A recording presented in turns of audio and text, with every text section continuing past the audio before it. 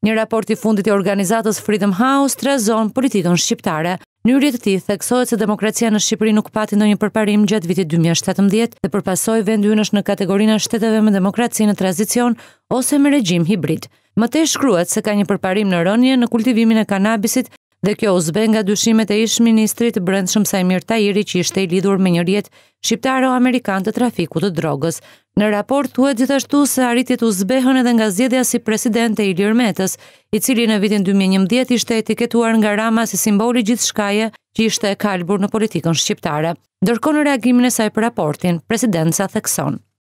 Keqardhje për keqpërdorimin e këtij raporti të Freedom House në funksion të axhendave të njëanshme politike në vendin tonë. Zgjedhja e presidentit Meta është realizuar në një proces tërësisht kushtetues dhe demokratik me një shumicë mbi tre të pestat e votave, në mënyrë të sforcuar dhe të njëanshme ky raport jo vetëm deformon këto të vërteta, por në mënyrë spekulative dhe të qëllimshme kërkon të krijojë fokuse artificiale.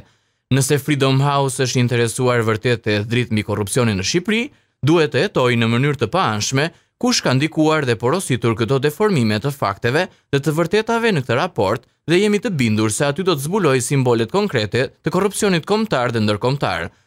Raporti ngre dhe një shqetësim për prirjen autoritare të qeverisë, ku citohet se një numër ngjarjesh në vitin dy mijë e shtatëmbëdhjetë konfirmuan shqetësime të tilla, përfshirë amendamentet e propozuara për ligjin e taksave që japin autoritet të pashembullt për të caktuar nivelet e taksave për biznese të ndryshme si dhe përdorimi i shumicës të thjeshtë për të zgjedhur prokuroren e përgjithshme të përkohshme.